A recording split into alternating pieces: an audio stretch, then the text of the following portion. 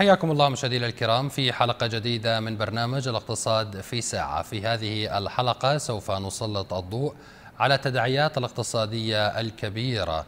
لجائحة كورونا على الاقتصاد العراقي إضافة إلى أزمة الكهرباء هذه المشكلة القديمة الجديدة.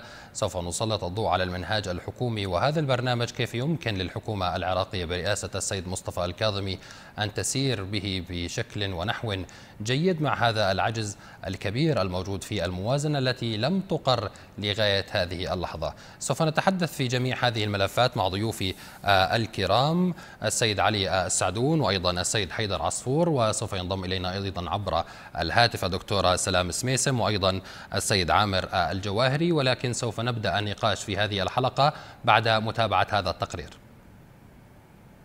مرحلة صعبة وتحديات اقتصادية جسيمة تواجه حكومة رئيس الوزراء مصطفى الكاظمي. وصفها الكثير من المطلعين على الشأن العراقي بالتعقيد والتشابك. أما آخرون فقالوا أنه أي السيد الكاظمي يبدو كمن يسير في حقل ألغام. فانهيار أسعار النفط كضربة قاسمة للعراق ثاني أكبر منتج للنفط في أوبك وتعتمد موازنتها بشكل أساسي على عوائده. هذا بالإضافة إلى الكثير من ملفات الفساد المعقدة. وهو القائل إنه لم يجد أثناء تسلمه مهامه إلا خزينة شبه خاوية ووضعا لا نحسد عليه بعد 17 عاما من التغيير. رئيس مجلس الوزراء أكد خلال جلسة اعتيادية للمجلس برئاسته على أن الحكومة مصممة على تجاوز الصعاب والتحديات الأمنية والاقتصادية والصحية موجها ببذل جهود استثنائية في العمل الوزاري والمسؤوليات بروح الفريق الواحد وغلق أبواب الفساد والتحرر من البيروقراطية وعدم الوقوع في الأخطاء السابقة. محللون قالوا إن حكومة الكاظمي تسعى لإدامة الزخم الشعبي الذي رافق تشكيلها من خلال التحرش بالملفين الأكثر تعقيدا في مؤسسات الدولة وهما الفساد المالي والبيروقراطية وسوء الإدارة. إطلاق صرف رواتب المتقاعدين والموظفين دون نقصان كانت نقطة في بحر متلاطم لكنه مر بسلام على وجه الخصوص بعد قرار رئيس الوزراء السابق عادل عبد المهدي بوقف الرواتب بحجة عدم وجود سيولة كافية. اقتصاديون قالوا إن قرار الحكومة السابقة كان يستهدف توريط حكومة جديدة في مأزق مبكر لكن الكاظمي حولها إلى فرصة لصالحه بعدما اتخذ وزير المالية جديد عدد من الإجراءات العاجلة. تمت بموجبها مناقلة أموال لحساب دائرة التقاعد واتخاذ الإجراءات الكفيلة بالسماح لوزارة المالية بالاقتراض لتغطية العجز المالي الناجم عن انخفاض أسعار النفط. وعمليا لم تتسبب التحركات الأخيرة للكاظمي ووزرائه إلا في معالجة نزر قد لا يرى بالعين المجردة من مشكلات البلاد المتفاقمة والمتراكمة منذ أعوام لكنها ألهبت حماسة الجمهور بشأن ما يمكن أن يحدث في الأشهر المقبلة. حياكم الله مجددا مشاهدينا الكرام وأرحب بضيفي المحلل الاقتصادي السيد علي السعدون. سيد علي مرحبا بك. مرحبا بك أستاذ عادل ورمضان مبارك عليك وعلى مشاهديك الكرام. حياك الله. سيد علي نبدأ بالتداعيات الاقتصادية الجمة اليوم التي تقع على عاتق حكومة السيد الكاظمي إضافة إلى التراكمات من قبل الحكومات السابقة خاصة حكومة السيد عادل عبد المهدي.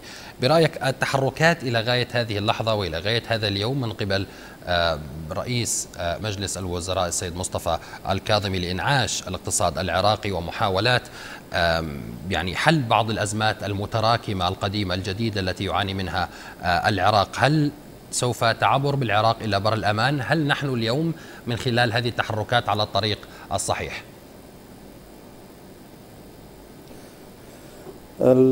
بالبدء يعني نبارك لل للسيد دولة رئيس الوزراء السيد الكاظمي وندعو له بالتوفيق للأخذ باقتصاد البلد وفي سياسات العامة إلى بر النجاة إن شاء الله. سيدي الكريم التحديات كبيرة جدا ولكن كما يعني اطلع وكان واضح يعني لدى الشعب العراقي في بالمنهاج الوزاري اللي يطرحه السيد الكاظمي كان يعني منهاج مرضي يعني نوعا ما في تفاعل مع احتياجات ما يحتاج البلد وخاصة كاقتصاديين نعم. نبحث في الجانب الاقتصادي لامس يعني لامس المنهاج الوزاري ملامسة حثيثة للجانب الاقتصادي مراعاة وأول النجاحات اللي أداها وتحسب للسيد الكاظمي نعم. هو زيارته الموفقة والميدانية إلى هيئة التقاعد الوطنية نعم. وأيضا في آه، إطلاق رواتب المتقاعدين آه، على وجه الخصوص نعم. مما أبدأ هذه الشريحة الواسعة اللي تعدادها بحدود ثلاث إلى أربع ملايين صحيح شخص آه، أبدأ الارتياح يعني هذا الموضوع. ولكن مع مع نعم. مع هذه مع هذه ربما يعني اسمح لي بمقاطعة بمقاطعة سيد علي ولكن مع هذه الخطوات الإيجابية التي اتخذتها الحكومة. ولكن هناك تخوف من الشعب العراقي تجاه بعض التصريحات التي آه، خرجت آه، على لسان رئيس الوزراء عندما يتحدث بأن الموازنة شبه خاوية آه، هناك مشاكل اقتصادية جمة وكبيرة تراكمات كما تحدثنا من الحكومة السابقة. ألا يشكل هذا بعض الخوف على ربما الشعب العراقي وأيضا جميع الموظفين وهذه الشريحة المهمة. هناك من يتحدث عن ضرورة خاصة من أعضاء مجلس النواب من ضرورة عدم استقطاع أي من رواتب الموظفين وهناك كان مشكلة في تدبير رواتب الموظفين لشهر أيار. هذه المشاكل كيف يمكن معالجتها خلال الأشهر المقبلة؟ ونحن نعلم بأن يعني الاقتصاد العراقي يعتمد بشكل كلي على النفط وهو الأسعار اليوم متدنية في السوق العالمي. النقطة اللي تحسب للسيد الكاظمي أنه يعني تكلم وأدلى بدلوه بشفافية كاملة وواضحة حتى آه، يعني أعتبرها من الذكاء لهذا الرجل وتحسب له لأنه ما يريد يتحمل وزر الحكومات السابقة لمؤشر آه، يعني سلبياتها لدى الشعب العراقي ولدى المراقبين والمتابعين. نعم. آه، صرح وأدلى أنه قال الميزانية خاوية خلص عليه هو بالمعالجات. هنا الموضوع يعني الفلسفي من البراغماتية اللي واضح لكل يعني الناس اللي اللي هي جاية من الأصل اليوناني البراغما أي العمل. نعم. إحنا ننظر للبراغماتيه إنه هذا المذهب الفلسفي آه، نعتمد نتائج العمل نتائج العمل. يعني وضع هو نظرية آه، نطالبه بالتطبيق. التطبيق يجب أن يكون متوازي النظر. طرح للنظرية طرح آه، راقي فاعل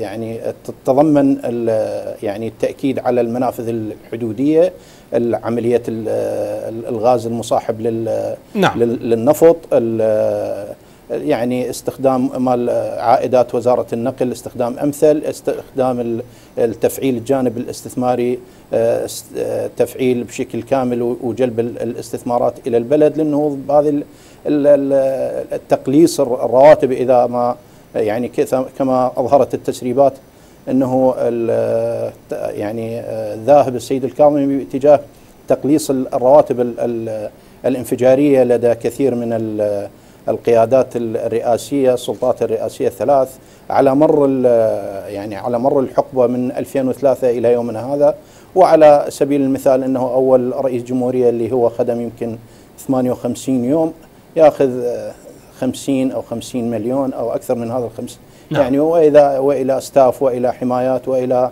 آه، نفقات أخرى آه، يعني تدخل في مداخل المنافع الاجتماعية فهذا آه، السيد الكاظمي حسب ما يعني قرأنا من خلال ما بين سطور رسالته وتصريحاته أنه جاد للعمل على تقليص هذا الموضوع لتوفير لقمة عيش آه، نعم ولكن ولكن هل هذه الإجراءات سيد علي هي كفيلة وكافية اليوم لتغطية العجز الموجود آه، في موازنة الدولة وإيرادات الدولة أم نحن اليوم بحاجة عندما نريد أو تريد الحكومة أن تنفذ ما جاء في البرنامج الحكومي فإنها في أولى خطواتها يجب أن تكون متكئة بشكل مباشر وكامل على موازنة محددة ومقررة في مجلس النواب.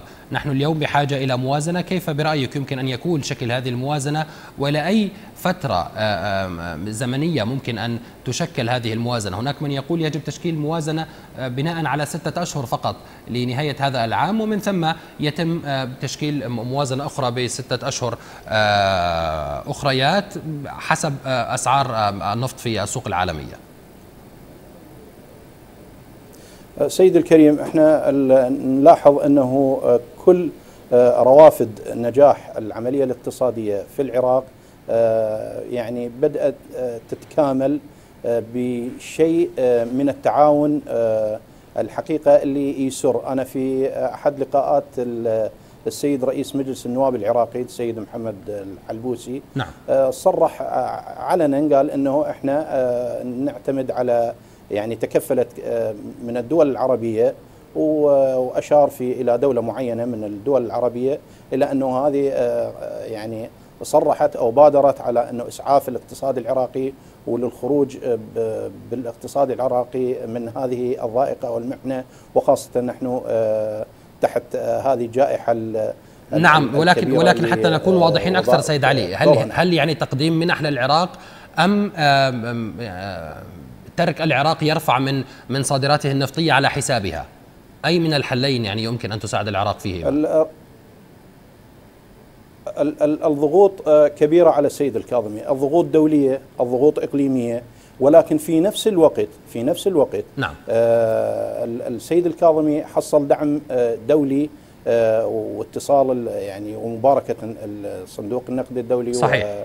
ومباركة ال يعني ال إي كبرى الدول العالمية بمهاتفته شخصيا وإبداء المساعدة لل للنهوض والخروج من هذه الضائقة المالية اللي يمر بها البلد. نعم. السيد الكاظمي حقيقة يعني قلت لك إنه هو من اتجه باتجاه الحلول يعني خفض الرواتب وترشيق النفقات اللي هي تعتبر زيادات يعني لا مبرر لها أصلا يعني. نعم. يعني المخمن المخمن لما يضع للمشروع يضع له فيضع له حدود يعني مثلا مليارين دولار مثلا هو يستحق المليار دولار. فهذه تعتبر يعني هدر بالمال العام.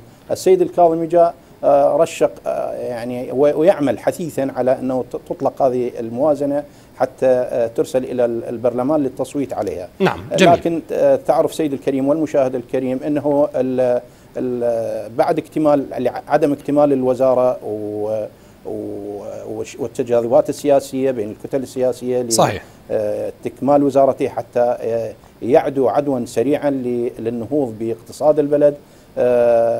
نحن حقيقه ك يعني كمراقبين ومتابعين ومحللين نرى أنه إن شاء الله نرى النجاح إن شاء الله بقدر يعني بقدر أفضل مما من الذين سبقوه يعني حقيقة نعم. هذه طيب. إن شاء الله إحنا متفائلين خير على هذا الموضوع نعم. نعم اسمح لي سيد علي أن تنضم إلينا عبر الهاتف نعم. الدكتورة سلام مسميسم وهي الخبيرة الاقتصادية دكتورة سلام مرحبا بك أهلا وسهلا بكم أسعد الله مساءكم ومسائك دكتورة دوما نسألك وأنت الخبيرة الاقتصادية عن إعداد الموازنة التي تحدثت عنها حكومة السيد الكاظمي يجب أن تكون موازنة استثنائية قابلة على مواجهة التحديات ربما وتداعيات الاقتصادية على انخفاض أسعار النفط والتي أثرت بشكل مباشر على الاقتصاد العراقي برأيك دكتورة سلام ما هي مواصفات هذه الموازنة الاستثنائية التي يمكن أن تمر بالعراق إلى بر الأمان في ظل هذه الظروف؟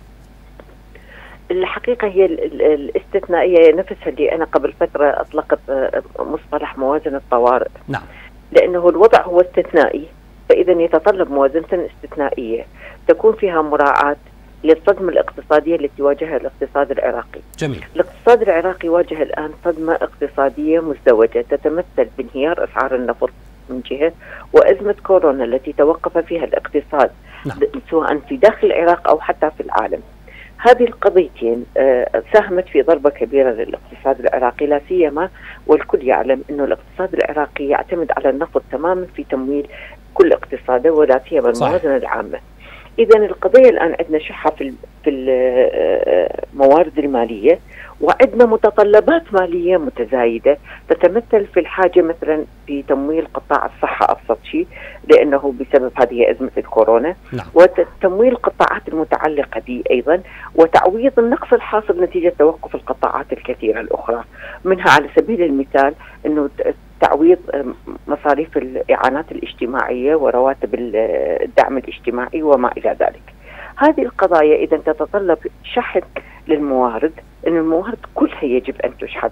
يعني بمعنى أنه يجب أن يعيد النظر للعراق ويتفكر في ماذا يمكن له أن تكون له موارد. نعم. ما هي الموارد دكتورة سلام عذرا على المقاطعة غير آه يعني الإيرادات آه النفطية اليوم آه للعراق التي يمكن أن تساعده اليوم في لدينا المنافذ الحدودية ولكن للأسف بسبب الفساد وبسبب عدم سيطرة الدولة نعم. على هذه المنافذ أن تذهب. يعني آه ولكن أليس أليس يعني كان تصريح لأحد المنافذ الحدودية. نعم هنالك 11 مليار في شهر واحد. صحيح ولكن ألا, ألا تغلق هذه المنافذ ما بين يعني الفينة والأخرى دكتورة سلام؟ يعني لا تكون نعم. مورد يعني يعتمد عليه بشكل مباشر. إيه هي تغلق تجاه موارد معينة ولكنها مفتوحة تجاه موارد.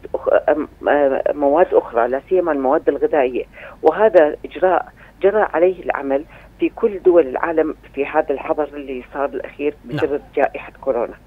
فإذا القضية هنالك ما زالت حركات تجارية بالنسبة للعراق لا سيما أن العراق صناعته توقفت زراعته توقفت لا غنى له عن هذه العلاقات التجارية مع دول الجوار.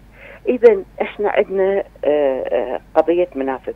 طيب لماذا لا تعمل الدولة على السيطرة على هذه المنافذ لكي تستثمرها في سبيل تمويل موازنتها. نعم. كذلك يجب أن تكون هنالك خطوة جادة من الحكومة لإعادة النظر في, في أشياء معينة. مثلا آه قانون آه منع آه تعدد الرواتب. لماذا لم يقر من البرلمان؟ يعني هنالك شخصيات في العراق تستلم ست رواتب. نعم.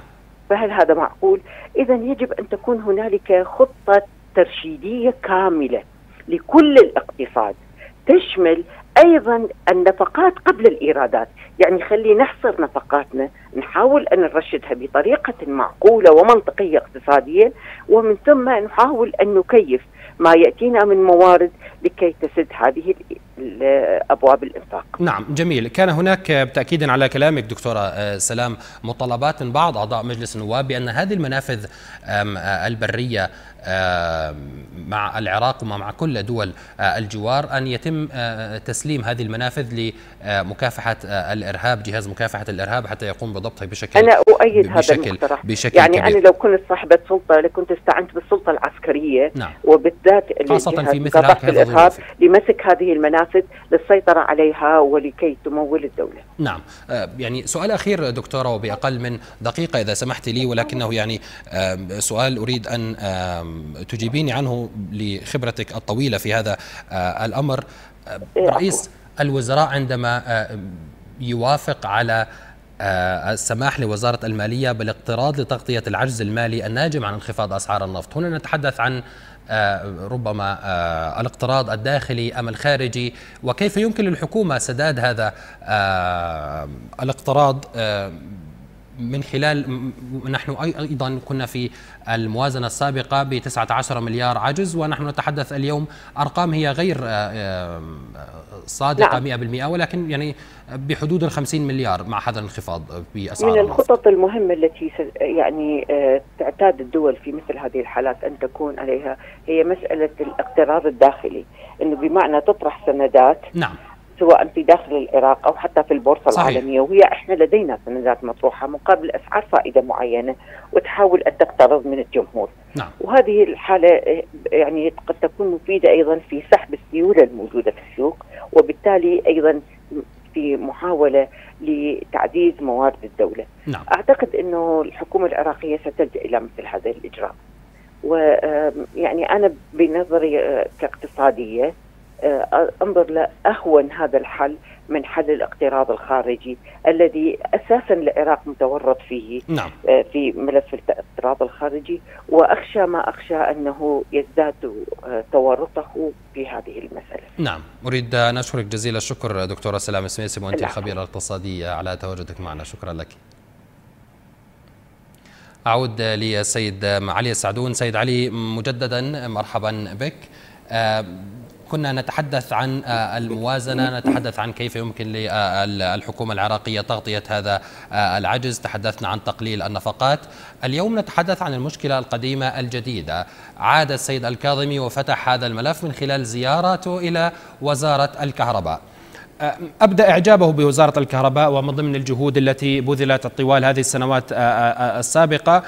طبعا لم ينفي التدخلات وربما الاستثناءات والصلاحيات من قبل المتنفذين الذين عاثوا بهذه الوزارة فسادا. ولكن هذه الوزارة اليوم من خلال حديثه مع وزير الطاقة الأمريكي وحديثه مع وزير الطاقة الإيراني بشأن تبادل الطاقة بشأن الاستثمارات في الغاز المصاحب كما ذكرت في بداية حديثك وجذب الاستثمارات في في مجال الطاقة بشكل خاص. اليوم كيف يمكن للحكومة أن تبدأ بمعالجة مشكلة وزارة الكهرباء هذه المشكلة القديمة الجديدة. هناك يعني أمل مفقود من جانب المواطن العراقي بأن تحل هذه المشكلة. الحقيقة أستاذ عادل يعني اليوم أنا كنت أستمع إلى المتحدث الرسمي لوزارة الكهرباء العراقية. نعم. الرجل يعني تكلم عن عن حيثيات الوزارة يعني فعلا هم مدعاة لأنه نقدم لهم الشكر لمواضعين في أجندتهم من حلول وهي أنه ال ال يعني واضعين حلول الربط الكهربائي مع المملكة الأردنية الهاشمية نعم. وكذلك مشروع لربط الكهربائي مع المملكة العربية السعودية ومع مع يعني مع مع جمهورية إيران هي منظومة الربط الكهربائي المشترك تقصد سيد علي حسب بالضبط ولكن نعم.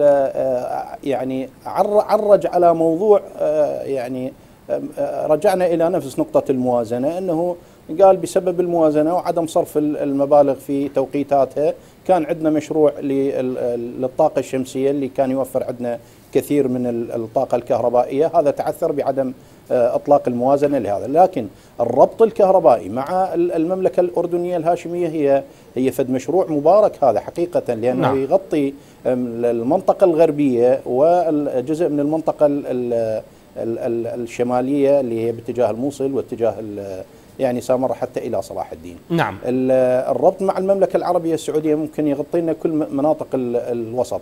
مناطق الإيران يعني هي أشار لها فد شيء بسيط يعني الرجل المتحدث مشكور على إفادته انه بهذا الموضوع. الحقيقة موضوع الكهرباء موضوع شائك يعني صحيح. الهدر للطاقات والجهود مع تزامن الاستهدافات لهذا القطاع الحيوي. يعني إحنا نلاحظ في هذا في خضم هذا الوضع المزري نلاحظ هناك استهداف للبنى التحتية لابراج النقل الطاقة اللي هي نعم صحيح ما يتم دوما ما يتم تفجيرها وأيضا اليوم نشهد أيضا حرق للمحاصيل الزراعية كذلك الأمر. نعم. ولما نقول إنه إحنا وصلنا إلى إلى وضع مريح من من الإنتاج ونقل الطاقة الكهربائية نلاحظ إنه يستهدف هذا القطاع. ولما يطلع علينا وزير الزراعة ويقول إنه إحنا المحاصيل الحنطة والشعير لهذا العام ما مرت على العراق يعني عقب حقبة كبيرة جدا إنه لم يصل طاقته الإنتاجية بالزراعة لمثل هذا نعم. الكم. الهائل من الإنتاج وهذا نتيجة رفع الغلة الزراعية. نعم. هذا شيء مفرح ولكن للأسف أعداء العراق والمتربصين به يريدون النيل من اقتصادهم نيل إنه حتى تتم تصدير بضائعهم الخاوية للأسف إلى إلى العراق والفاسدة واستنزاف الأموال العراقية وإهلاك الجانب الصناعي نعم. والاقتصادي والزراعي يعني في في كل المجالات داخل داخل العراق. نعم صحيح ولكن اقتصاده يعني. دوما دوما ما يتم الحديث عن خطط استراتيجية نعم ربما تكون ناجعة وناجحة وفي مكانها وزمانها الصحيحين. ولكن دوما نصطدم بأمر التمويل. والخزينة فارغة. إذا ما أردنا يعني الخطط الاستراتيجية التي اليوم اشيد بها من من قبل رئيس الحكومة لوزارة الكهرباء آه، يعني آه، خطط جيدة ولكن نصطدم بالتمويل وبخلو الخزينة من الأموال. آه، عندما نتجه إلى الزراعة يتم هناك بعض الحرائق والتي تشير بعض الأصابع إلى أنها مفتعلة. اليوم هذه الحرائق لضرب قطاع الزراعة العراقي. اليوم هناك نائب حذر الحكومة العراقية بضرورة الاستباق التحرك الاستباقي مع الجانب التركي فيما يخص موضوع سد إليسو التركي وملء. هذا السد مما سوف يؤثر على نهر دجلة. هذه المشاكل جميعها ربما يكون لدينا خطط جيدة ولكن لا يوجد تمويل والمشاكل أيضا متراكمة. يعني ممكن أن تكون الحكومة تنجح بقطاع دون قطاع ممكن أن تكون لديها بعض الأولويات اليوم لقطاع دون آخر. سيدي أعرج على كلام الدكتورة سلامة سميث اللي سبقتنا تحياتنا لها. هي عرجت على موضوع وأيضا أنا ذكرت هذا إنه موضوع المنافذ الحدودية. أنا أجريت صحيح. إحصائية آه، أستاذ عادل أجريت إحصائية في بحث آه، يعني آه، معمق إنه وجدت على شاكلة هذا الموضوع إنه إحنا نجد يعني منافذ للتمويل قد تسد في بعض المواطن يعني بالاقتصاد العراقي فبحثت بالموانئ بالأرصفة العراقية الموجودة ضمن ميناء البصرة نعم. فوجدت أنه هناك هنالك 27 رصيف موجود بال يعني 27 رصيف ضمن الموانئ العراقية نعم. أربعة من عندهن خاصات بالحكومة العراقية يعني على وزارة النقل أربعة و23 رصيف هي مستثمرة لشركات أجنبية وعربية ومحلية أو مشتركة. نعم. أنا يعني بحثت في هذا الموضوع إنه شفت الطاقة للتحميل والتفريغ للرصيف الواحد هو آه، سفينتين زنة السفينة 25 ألف طن لأنه غاطس الماء يعني ضمن الحدود المياه الإقليمية نعم. للعراق تتحمل 25 ألف طن للسفينة فإحنا عندنا استعداد يعني حسب ما المختصين اللي تعاونوا معنا في هذا المجال مشكورين إنه قالوا إنه إحنا نقدر نفرغ ونحمل سفن عدد اثنين لكل رصيف يعني كل سفينة تأخذ سواء في التحميل أو في التفريغ 12 ساعة نعم. يعني 24 ساعة تتحمل سفينتين إذا ما رجعنا للموجود مثلا عندنا أنا وضعت يعني في ضمن آه، المعالجات أو المقترحات اللي نرفد بها المستشارين الاقتصاديين الموجودين في الحكومة العراقية نعم. قلنا إنه مثلا لو ناخذ مثلا على سبيل المثال مادة الكبريت اللي هي في منطقة المشراق ومادة الكبريت اللي هي موجودة في منطقة الأنبار في منطقة هيد نسبة النقاوة الموجودة في في هذا الكبريت هي 98% أخي الكريم هذه النسبة ما موجودة على مستوى كل العالم. يعني من من الآلية اللي تحمل السيارة إلى إلى التصدير. نعم. ما يدخل عليها أي عامل آخر. يعني الله وهب العراق خيرات آه يعني في داخل أرضه وعلى أرضه وفي باطنه آه يعني ولذلك أنه آه يقولون الخير آه، في العراق لا ينضب نعم. لو استغلنا هذا الموضوع ممكن أنه نرفد الميزانية في هذا الموضوع ممكن عندنا يعني السلكة اللي هي خاصة في صناعة الزجاج ممكن نعم. تكون هناك العديد من الموارد سيد علي كما تفضلت يعني العراق لا نعم. ينضب من هذه الموارد سواء الطبيعية نعم. آه، أو آه، غيرها آه، ذكرنا في بداية حديثنا الغاز المصاحب تتحدث عن السيليكا تتحدث عن الموانئ تتحدث عن جميع الكبريت تتحدث عن جميع ربما هذه المصادر الطبيعية وغير الطبيعية الموجودة لدى العراق إذا ما استثمرت بالشكل الصحيح فإنها سوف ترفد خزينة الدولة بمبالغ كبيرة يمكن أن تعتمد عليها وتنقذ العراق من هذه الانعكاسات الاقتصادية الكبيرة. اعذرني لضيق الوقت لم يتبقى لي سوى أن أشكرك السيد علي السعدون وأنت الخبير الاقتصادي على تواجدك معنا. شكرا لك أستاذ عادل رمضان كريم وإن شاء الله عيد سعيد مبارك والعراق ينهض تحت قيادة الجديدة إلى بر الأمان ونتمنى إن شاء الله الأيام القادمة هي أيام سعد وخير على شعبنا العراقي العظيم. إن شاء الله علينا وعليكم. ننتقل إلى محورنا الآخر من حلقتنا لكن بعد متابعة هذا التقرير. ورثت حكومة الكاظمي أزمات حادة بعضها تراكمي مثل نقص الخدمات وعدد كبير من العاطلين عن العمل واقتصاد ريعي لم ينجح أي من رؤساء الحكومات السابقة بتغييره أو على الأقل محاولة ذلك. هذا بالإضافة إلى ملفات فساد جديدة وتدني إيرادات الدولة. محللون أكدوا أن التحدي الاقتصادي سيقيد بنحو كبير حركة الحكومة خاصة في قدرتها على تلبية احتياجات الشارع. ويفرض عليها البحث عن موارد جديدة لتحقيق التنمية والاستثمار وتحسين الأحوال المعيشية للشعب العراقي. لذلك على حكومة الكاظمي سرعة التحرك قبل حصول ما لا يحمد عقباه. رئيس الوزراء مصطفى الكاظمي وخلال الجلسة التي عقدها مجلس الوزراء بحث سبل تعظيم إيرادات الدولة غير النفطية ومعالجة الأرصدة المالية غير المسيطر عليها لدى بعض الوزارات والتي لا تدخل في خزينة الدولة. الكاظمي أمر أيضا بتشكيل خلية أزمة عاجلة لمعالجة مشكلة الكهرباء وإنهاء هذا الملف المزمن والمعقد والشائك محذرا من التقصير في توفير هذه الخدمة للمواطن ومؤكدا على الاستثمار الذي يجب أن يأخذ دوره ولكن دون أن يستغل المستثمر الوزارة. ودعا وزارة الكهرباء أيضا إلى وضع خطة عمل جديدة في مجالات التخطيط والإنتاج والتوزيع والنقل والوصول إلى حلول تليق بالعراق وشعبه. وفي مجال معالجة البطالة وتشغيل العاطلين أشار الكاظمي إلى أهمية أن تعمل الشركات الأجنبية والقطاع الخاص على اجتذاب الطاقات الشبابية وتدريبهم وإكسابهم المهارات اللازمة إلى جانب قيام وزارة العمل والشؤون الاجتماعية بتجديد إجراءاتها بخصوص العمالة الأجنبية من جميع النواحي والآثار المترتبة عليها. محللون أكدوا أن حكومة الكاظمي تحمل فرصة التغيير والإصلاح وأن فشل الحكومة يعني دخول البلاد في كارثة اقتصادية تتعلق بمعيشة الناس وأرزاقهم. فهل ستكون حكومة الكاظمي بالفعل حكومة حل لا تأزيم؟ الأيام المقبلة ستميط اللثام عن حقائق كثيرة.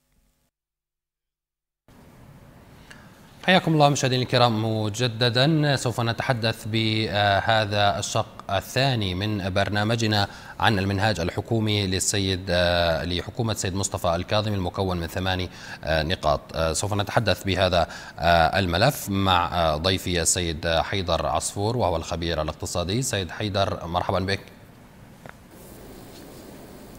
أهلا وسهلا بكم.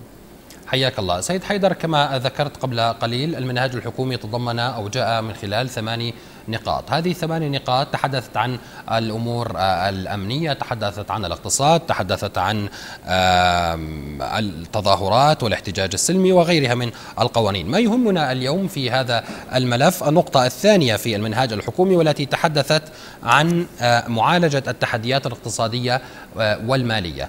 هناك تحديات جمة على عاتق حكومة السيد مصطفى الكاظمي سواء تراكمات من حكومات سابقة أم التحديات الجديدة التي طرأت علينا بعد جائحة كورونا. اليوم ما هي الأولويات لدى حكومة السيد الكاظمي في ظل خزينة شبه خاوية كما قال رئيس الوزراء؟ أولا تحية لكم ولمشاهدينا الكرام. آه، حكومة الكاظمي مثل ما تفضلتم آه، ورثت آه، مشاكل جمة من الحكومات السابقة وخزينة شبه خاوية وكذلك هناك أسعار نفط متدنية جدا. فكلفة الاستخراج مثلا أبرمت 18 دولار وبعض العقود 20 دولار. أي أنه مع كل دولار بعد ال 20 دولار يكسب العراق هو مليار دولار سنويا. هذه توضيح للمواطنين. نعم. آه كذلك هناك هيكل آه متخم هيكل إداري متخم آه وكبير جدا من الموظفين بحدود 8 ملايين أو 100 ألف موظف. آه، وكذلك حدود 3 ملايين و500 ألف متقاعد. هذه كلها آه، آه، تكون عقبة باتجاه حكومة المالكي حتى تستطيع أن تتقدم. هناك بعض القرارات كانت من خلال الندوة الاقتصادية التي رأستها اللجنة الاقتصادية مع المستشارين مع آه، مع آه، اللجنة المالية في البرلمان العراقي.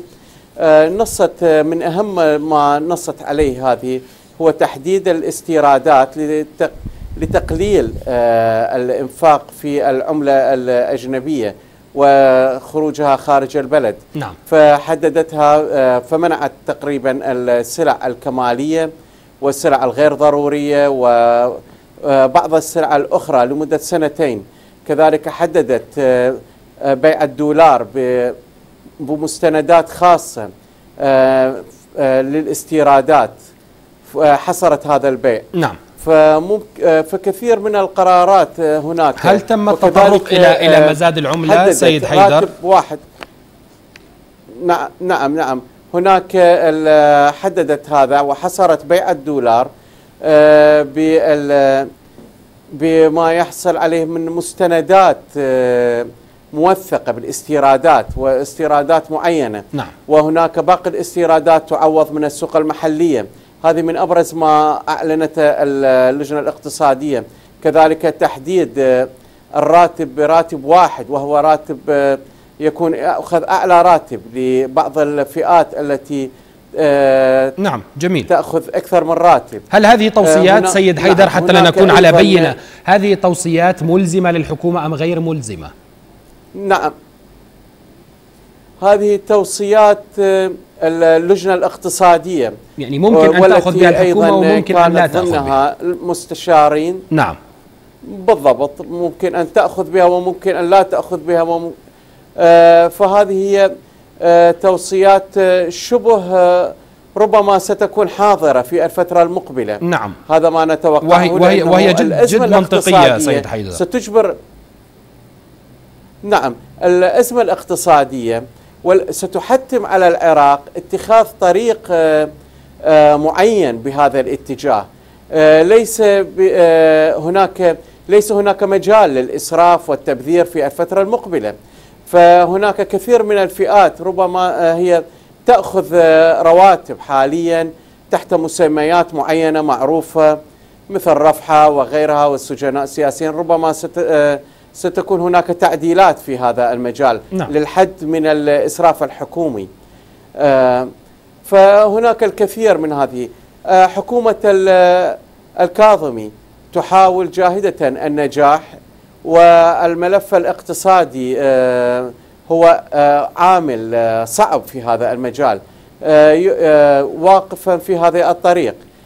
يفترض بنا إيجاد كثير من التشريعات الاقتصادية والتي ستكون أيضا حاضرة بالنسبة للضرائب التي أوصيت بها أن تكون ضرائب داعمة للاستثمارات والتنمية.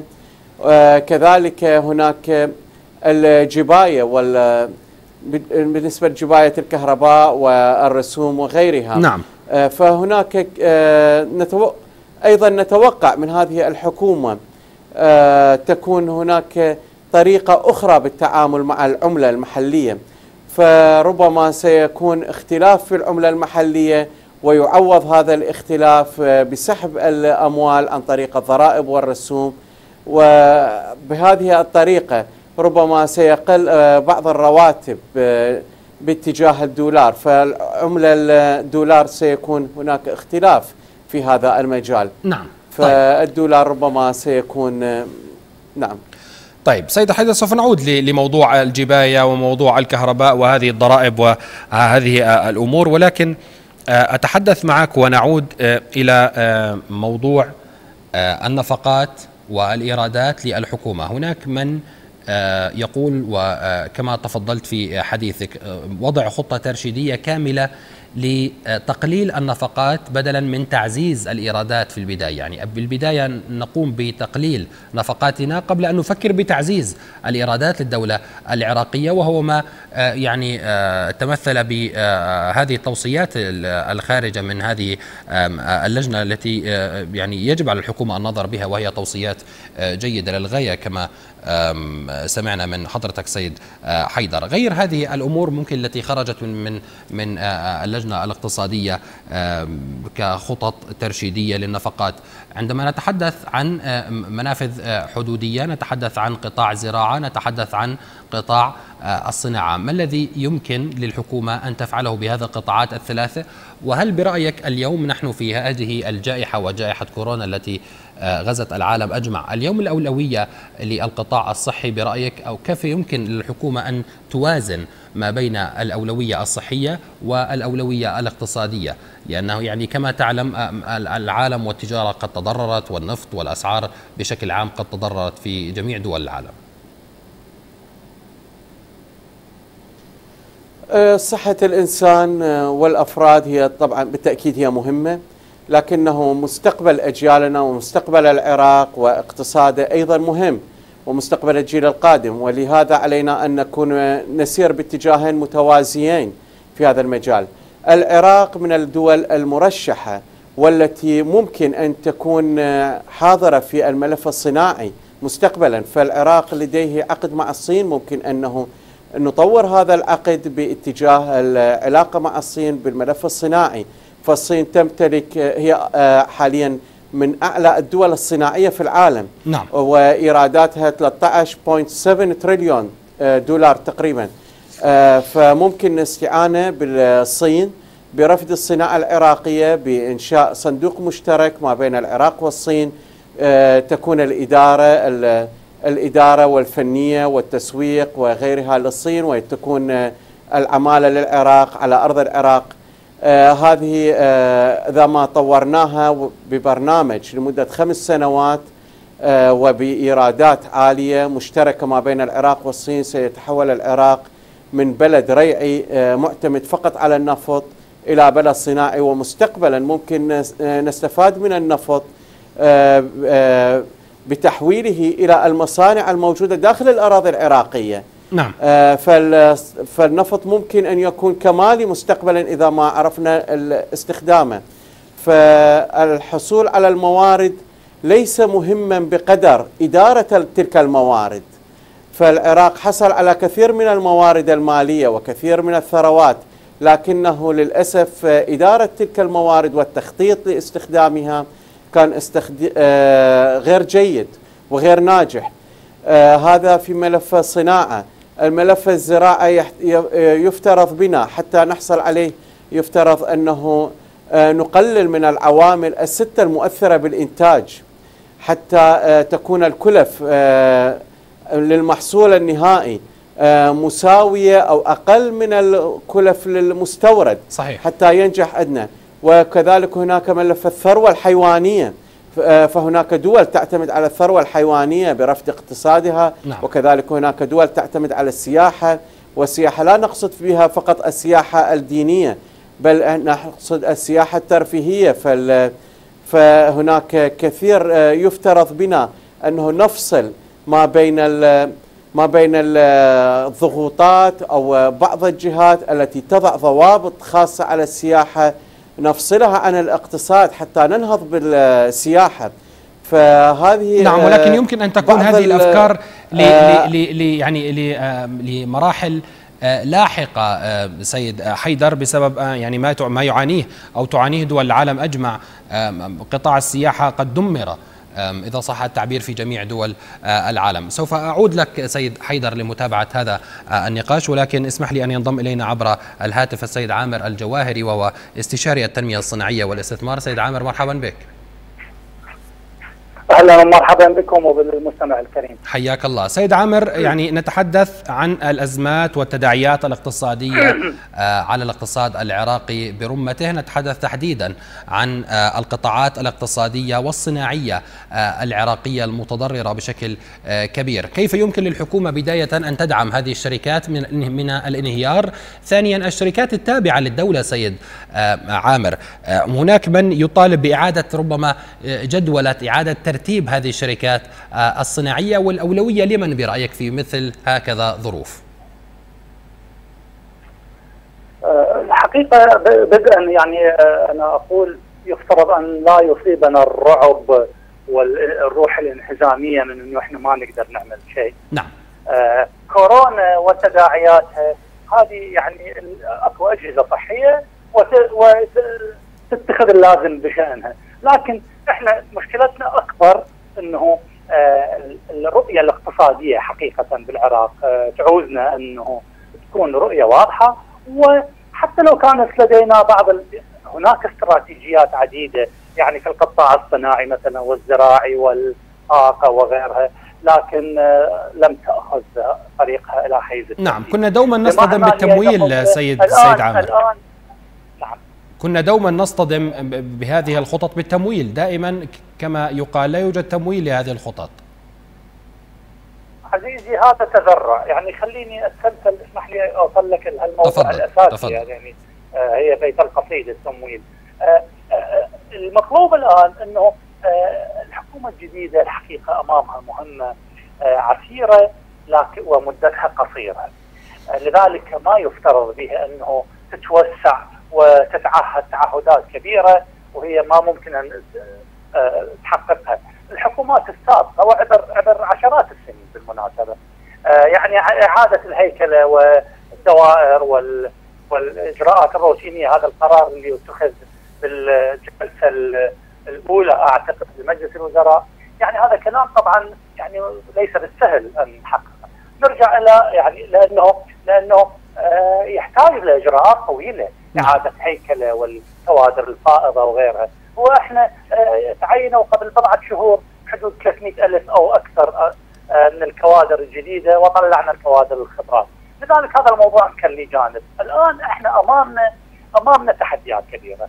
موضوعة الهيكلة الشركات العامة وغيرها.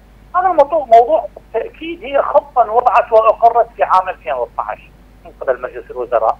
لم تأخذ إلى طريق الحي التنفيذ. والآن هي بالمناسبة أي إعادة هيكلة ليست خطوات بسنة ولا بسنتين إعادة الهيكلة للشركات العامة أو تحويل بعضها إلى شركات مساهمة هذه خطوات طويلة المدى وخاصة عندما نبدأ بها. سؤالك لطيف بشقين. انه نعم. منين نبدأ؟ وقضية التمويل. التمويل التمويل ما نقلق منه في حالة وجود إرادة تنفيذ. يعني إحنا شو نريد ننفذ أي مشروع على سبيل المثال خليني أجيب لك شيء حي اليوم نعم. وهو متلكئ وكان يعوزه التمويل وكان يعوزه القرار والإرادة وكان يعوزه الجهاز التنفيذي له وهو مشروع النبراس للبتروكيماويات نعم. في منطقة خور الزبير في الباصرة.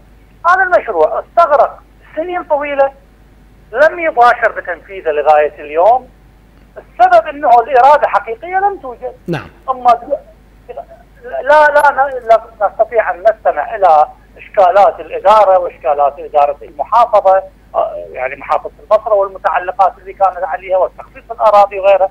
هذه كلها ذرائع عندما يكون هناك إرادة، الإرادة هي ليست رئيس وزراء فقط. الإرادة هي بالوزير وبالمحافظ وبالمواطن نفسه والموظف وأصغر مهندس. نعم.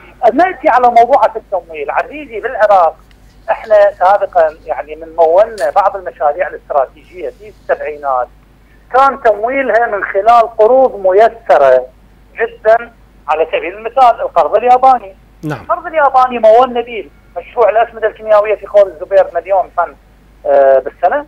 مولنا به محطة كهرباء الهارس الحرارية. وأعتقد البتروكيماويات وغيره.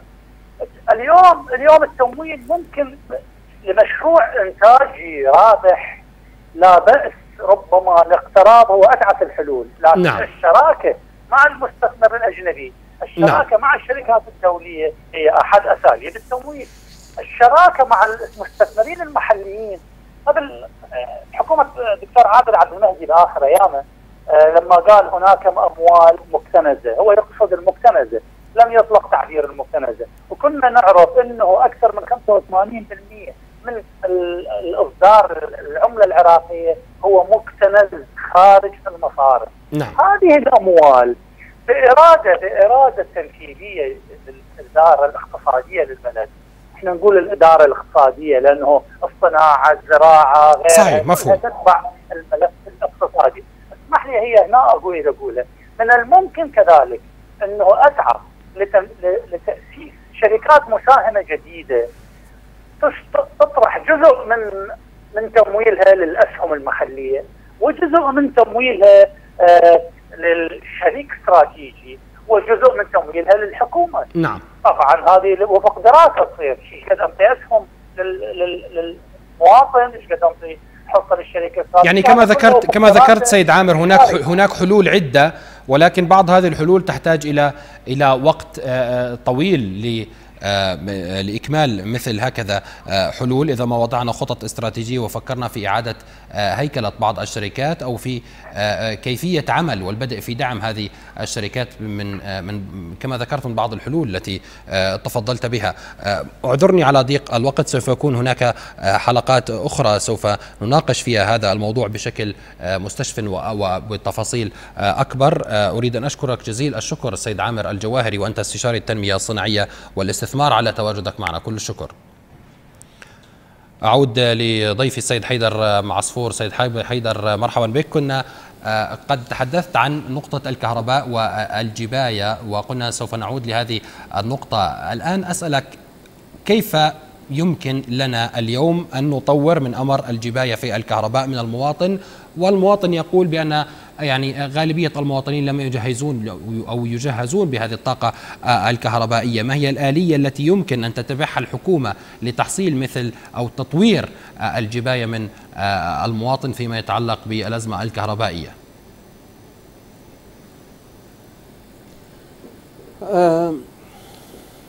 مشكلة الكهرباء طبعا مثل ما هو معروف أنه عدد ساعات تجهيزها قليل نعم. أسعارها عالية وهناك شركات دخلت على الخطة للجبايم هذه عقدت الموضوع وزيدت الأسعار. يفترض بنا أنه تكون هناك آلية جديدة في هذا العمل وتحسين الكهرباء حتى نستطيع النهوض بالصناعة مثلا. وكذلك مثلا بالسياحة أو بالزراعة. فالكهرباء متعلقة بكثير من المشاريع التنموية المختلفة في هذا المجال. فهناك الشركات متخصصة مثلا آه، في هذا المجال تستطيع أنه آه، آه، تحل هذه المشكلة نعم. مشكلة الجباية. لكنه ليست بالكيفية أنه لا تقدم الخدمات هناك شركات تقدم الخدمة مقابل الفائدة مثل ما كثير من دول العالم. ليس فقط إنه تعتمد على آليات الكهرباء الموجودة والأجهزة والموظفين الحكوميين نعم. هي فقط آه، آه، تستحصل الأموال وتأخذ نسب. هذه عملية غير مجدية. آه، بالمناسبة أستاذ عادل تفضل. هناك التوجه سيكون دولي. لأنه حاليا أزمة كورونا أزمة أثرت على اقتصاد العالم ككل. فهذه الأزمة آه، جعلت هناك كساد جعلت أمرين. صحيح. الكساد والتضخم. فهناك آه، مشكلة سيعانيها العالم أجمع. هذه المشكلة ستجعل من حكومات مختلفة الدول التي حاليا هي متورطة آه، وممكن مستقبلا نشهد مظاهرات في كثير من دول العالم خاصة في أوروبا فهذه آه، ستدعوهم إلى إيجاد منافذ آه، أخرى للإقتصاد فربما ستكون هناك آه، انفتاحات في مجال الإقتصاد سيكون العراق حاضرا نعم. كونه بيئة واعدة صحيح. فتكون الكثير من الشركات تستثمر في العراق وهذا الموضوع سيعود على العراق بالفائدة. طبعا الشركات ستقدم بعض التسهيلات وبعض آه كثير من الحلول التي تحاول هذا ما تحدث به سيد سيد حيدر اليوم رئيس الوزراء مصطفى الكاظمي مع أثناء مهاتفته لوزير الطاقة الأمريكي وأيضا وزير الطاقة الإيراني. عندما تحدث مع وزير الطاقة الأمريكي تحدث عن ضرورة آه، اليوم تبادل آه، آه، الخبرات وتبادل الاستثمارات وقدوم الاستثمارات الأمريكية إلى العراق متعهدا بتقديم جميع المساعدات والتسهيلات لهذه الشركات الأمريكية الراغبة بالاستثمار في العراق خاصة فيما يتعلق في مجال الطاقة. ويعني لربما نشهد توجها من قبل الحكومة العراقية نحو الطاقة النظيفة بدلا من الطاقة الكهربائية من من الغاز وغيرها من هذه الأمور. اعذرني لقد داركنا الوقت سيد حيدر. لم يبقى لي إلا أن أشكرك وأنت الخبير الاقتصادي على تواجدك معنا فشكرا لك مرة أخرى. أشكركم. الشكر موصول لكم أيضا مشاهدينا الكرام على المتابعة. حلقة أخرى الأسبوع المقبل في أمان الله.